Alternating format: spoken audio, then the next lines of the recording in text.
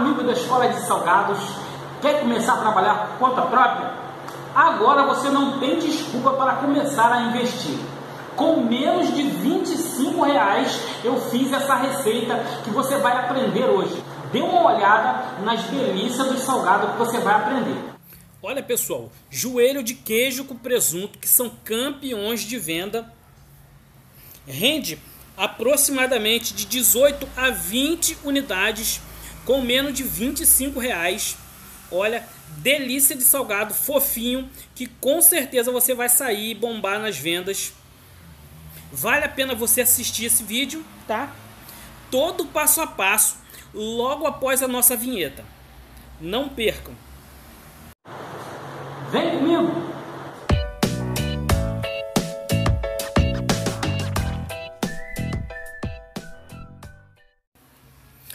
Fazer a massa do nosso salgado assado, pessoal, a nossa massa econômica, nós vamos estar utilizando duas xícaras de água em temperatura ambiente, tá? Também vou colocar aqui um quarto de xícara de óleo, lembrando que a minha xícara é de 240 ml. Pessoal, é, apesar de ser uma massa econômica, essa massa é muito saborosa também, tá? Eu tenho aqui 5 colheres de sopa de açúcar, uma colher de sopa de sal. Vou dar uma pré-mexida aqui. Só para diluir um pouquinho aqui o açúcar e o sal. Eu tenho 20 gramas de fermento biológico seco. Se você for colocar o fresco, você pode colocar aí umas 30 a 40 gramas do fresco, tá bom? É mais fácil de encontrar nas padarias aí por todo o, o nosso país. Olha pessoal, eu vou deixar essa mistura descansando um pouquinho só para dissolver aqui e hidratar bastante o nosso fermento. Olha, perceba que a água já ficou já meia acinzentada, né? Porque já diluiu o nosso fermento aqui. Agora vamos dar prosseguimento aqui à nossa massa econômica eu vou utilizar um quilo de farinha de trigo tipo 1, tá? Vou colocar aqui um pouco. No caso, pessoal, dessa massa, o meu líquido ainda foi pouco, eu acrescentei depois mais meia xícara de água, tá? Então, eu vou colocar lá na descrição duas xícaras e meia de água. Se você quiser colocar de primeira, né?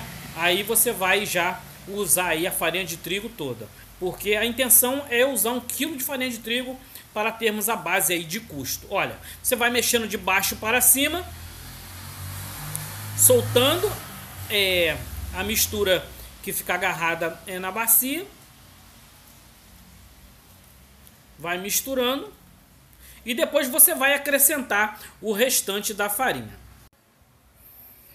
Vou colocar a mistura na bancada, tá? E vou começar a sovar, pessoal. Ah, nessa hora que dá para perceber se a massa está muito úmida, vai precisar de farinha de trigo, ou se ela está seca, tá? Vai precisar de um pouquinho de água.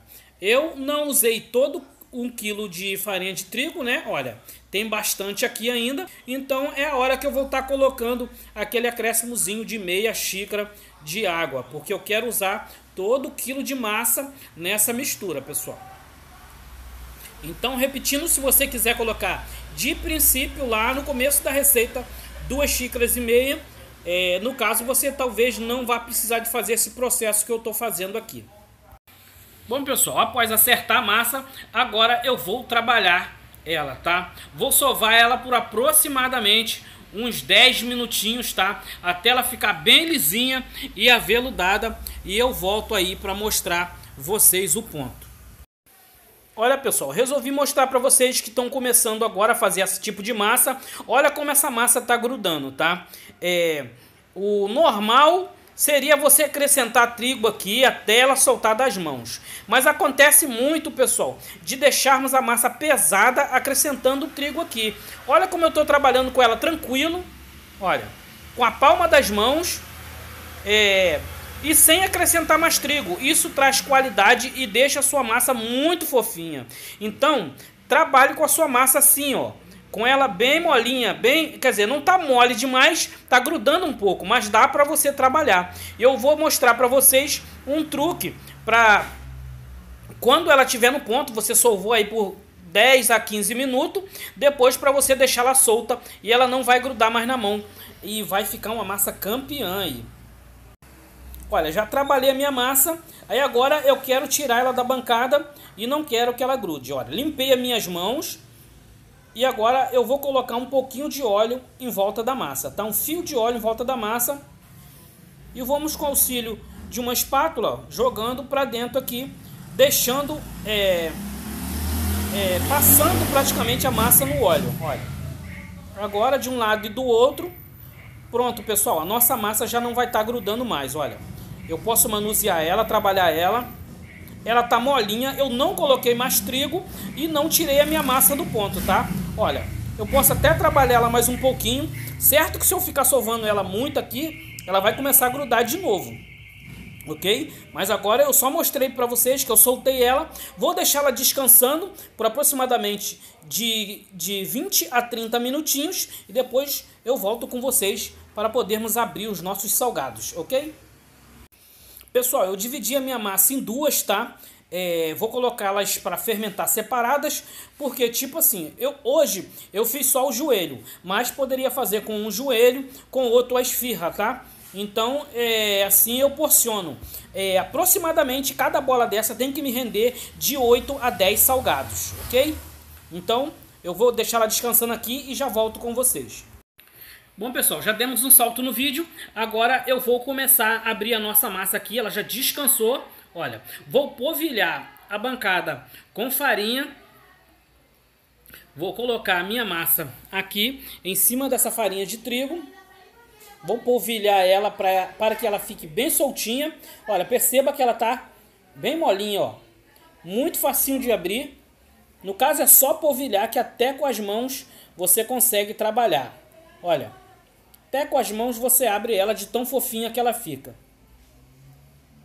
Lembrando que você tem que polvilhar bastante para ela não grudar na bancada, que aí você não vai estar tá esticando a massa, tá? Olha, pessoal, é, esse, meu, esse meu salgado, ele rendeu é, 18 salgados, é, mais porque eu, eu coloquei aqui o máximo da minha bancada, tá? Se a minha bancada fosse um pouquinho mais, daria pra, para eu poder render essa massa, tá? Então ele, essa massa rende bem, tá? Dá resultado. Eu gastei nessa massa aproximadamente, pessoal, 18 reais, tá? 18 reais eu fiz é, 18 salgados. É, então, para você trabalhar, vender eles aí a reais, a dois reais e cinquenta, você vai estar tá bem abaixo do mercado, vai estar tá vendendo um salgado de qualidade, saboroso e vai estar tá conseguindo uma renda extra aí. Com certeza é, vai bombar nas vendas aí, porque essa massa é campeã, é uma massa já testada, tá pessoal? Já vendi muito essa massa aqui e é uma massa já testada que eu estou trazendo para vocês. Olha, você vai abrir o retângulo de comprido, muito facinho. Aproximadamente aqui é 20 centímetros de largura.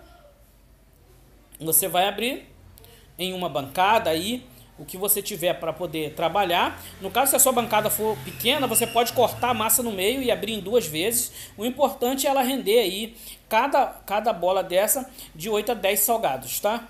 Para garantir aí o seu retorno.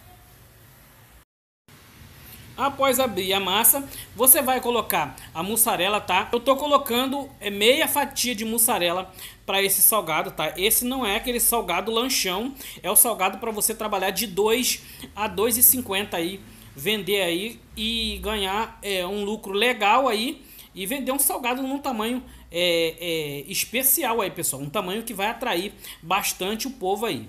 Olha que maravilha. Fechou de um lado, jogou o outro por cima, lembrando de sempre estar tá tirando a farinha de trigo é, é, de cima, assim, deixando ele limpinho, para ele não ficar rústico na hora que você pincelar. Olha, acerte todos os salgados, vai colocar em assadeira untada com óleo e vai levar para fermentar, tá? Descansar aí. O meu aqui descansou por aproximadamente meia hora, tá, pessoal? Pra, até ele chegar no ponto para poder pincelar. Olha só, Aqui ele já está fermentado. eu vou pincelar com gema, tá? Vou passar gema em todo ele. Depois de pincelado, vou jogar só um orégano por cima, tá? Ligo meu forno de 15 a 20 minutos de antecedência, pessoal, porque o joelho é todo salgado aberto com queijo, o forno tem que estar tá bombando, muito quente. Você pode botar o seu forno aí no máximo, deixa ele 15 minutinhos, tá? Depois de 15 minutinhos, você vai colocar o seu salgado para assar na parte mais alta do forno. Eu deixo sempre o link lá na descrição como fazer para o salgado não ficar queimado por baixo, tá? Botar um tabuleiro na parte de baixo, mas tem um link lá com o vídeo explicando. Se vocês seguirem, vocês vão ter o mesmo resultado que eu, assim, um salgado bem fofinho, um salgado campeão para vender, ok? Tá aí, pessoal, mas esse vídeo, espero que vocês gostem, tá? Com menos de 25 reais. Olha, você vai sair com essa delícia. Ele é tão fofinho, tão levinho, quem come um, acaba comendo dois. Olha a parte de baixo, pessoal, como fica tão clarinha. Olha, eu tirei o meu bem clarinho, porque salgado com queijo não dá pra você deixar muito tempo no forno, porque senão ele vai jogar o queijo todo pra fora, tá? É... Espero que vocês gostem. Deixa o joinha pra mim. Se puder compartilhar, é, o vídeo, eu agradeço. Qualquer dúvida é só lá nos comentários que eu vou responder para vocês. Um beijo para todos, um grande abraço e até mais. You're like a circle that floats around me, keeping me